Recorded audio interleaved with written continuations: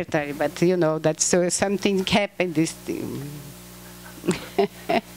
and there is also this idea of accumulation advantage, you know, and this is something that's going on and on, and uh, uh it's something that um, sometimes it should be broken. And um, so there is some ideas and a strategy and an action that we could take. And um, I was told for, by a colleague of us that is uh, uh, going this um, Olympiad of mathematics. And, it, and it was very interesting because she said the participation of girls is very good up to such a level of 13, uh, 20, uh, 15 or below 15 years old. And then they hear this disappear because somehow maybe they don't want to, to, to be, have this kind of, of uh, um, hold that they are the kind of uh, too, too, too efficient students and so on. But they, they disappear, but the ability they still keep, no? So I think these are some things that are the, so this, I am afraid that we, we, somehow we are very much repeating ourselves, you know. And, uh, and the question is that uh, really we should go for action. One of the points that I am very much involved, and I think that's important, is the organization of meetings to discuss this thing. So the IUPAP some years ago realized that the participation of women was very small, and they have uh, try to organize, they create a committee for this, and a colleague of us, Marcia Barbosa, was uh, uh, one of the founding members of this committee, and they have made a survey, and they have organized the first conference of women in physics in, in Paris. And um, I did this time I did not know Marcia. One day I get, got a telephone call, and she told me, you know, I want you to give a talk in this conference. But I say, why? She said, ah, because I entered in the curriculum Lattes, that is a base data for CNPq, and I was looking for some woman that has a good publication but has family and I think you should be the one and she gave me the title personal experience of a Latin American physicist and was my most difficult talk.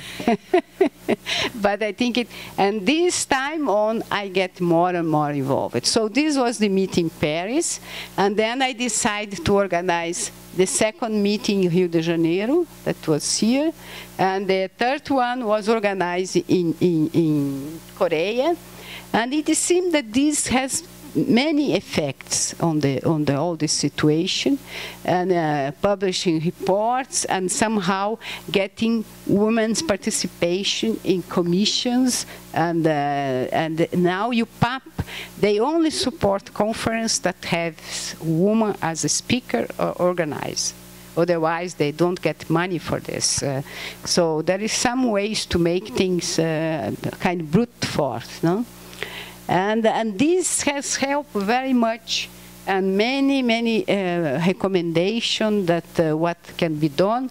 And I think from one conference or meeting for, to the other, we are just collecting and repeating the same uh, uh, uh ideas. But I should not forget to tell that in Brazil, we have a very special situation because we have the Secretary for Politics for Women and with Minister Nilcéa Freire, and here we have her representative.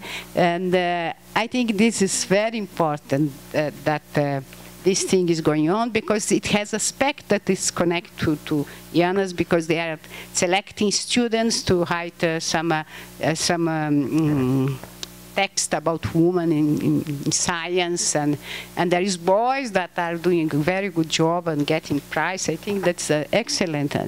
We have also the GAP Brazil, uh, that is led by, by, by Alicia Abreu. And uh, we have some, um, some meetings, and the idea is to have some uh, action plans and uh, some to some objectives to be reached.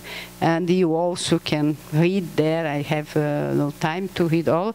And this has a list of uh, uh, participation of uh, very important person, like, uh, for example, Mayana Zatz, that is Lucia Previato, and Lucia Mello, that is the president of, of CGEE, and uh, Beatriz, that got the prize last year from UNESCO.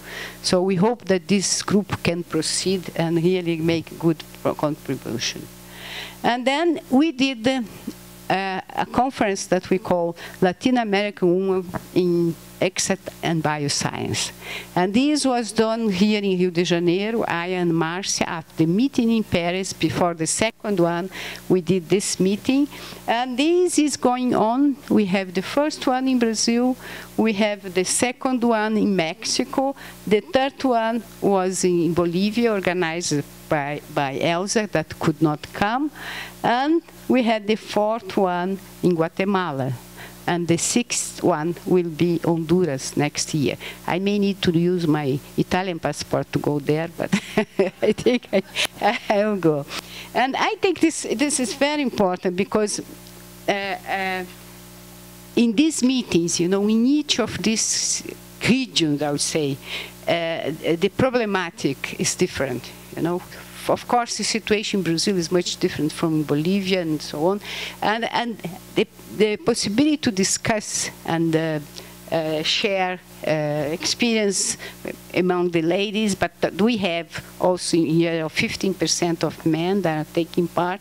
I think it's, it's, it's very important. But uh, what I would like to leave for you as a final message is that besides to work to have more women inside, it's urgent necessary that we qualify their participation better.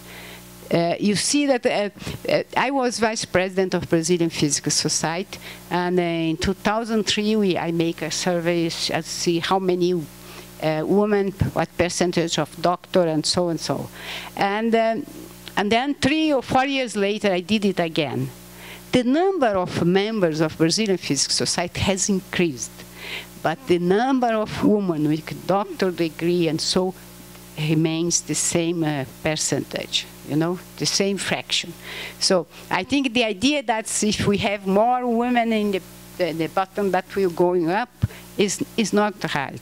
You know, something should be done so that, uh, and uh, I have uh, plenty of ideas, but I, I, and this is what also I I would like to to say, but I have also, you know, these are all suggestions that we took out from this uh, woman in physics, uh, women uh, in science, and that repeating human in physics. So there is many, many um, uh, suggestions how we can do, but um, I think we find some, we need to find some way to make these things going.